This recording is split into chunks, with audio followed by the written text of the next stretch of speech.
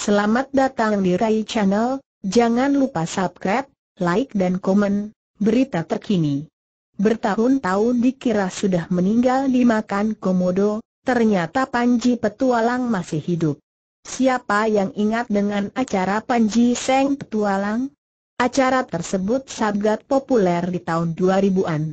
Panji mulai terkenal setelah berperan jadi pawang dan pencinak hewan di sebuah acara televisi.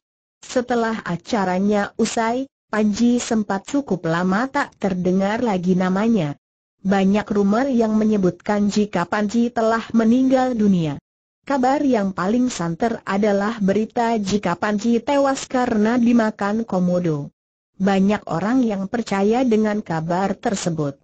Bahkan, Sempat muncul rumor yang mengatakan jika video Panji saat dimakan komodo dapat ditemukan di YouTube. Namun, Seng Panji sendiri akhirnya mengumumkan jika dirinya masih hidup melalui akun YouTube. Dirinya memposting sebuah video yang berjudul Maaf Saya Masih Hidup.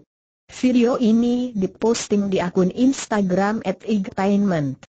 Netizen pun kaget melihat postingan tersebut karena mengira Panji telah meninggal dunia. Begini komentar mereka. Terima kasih,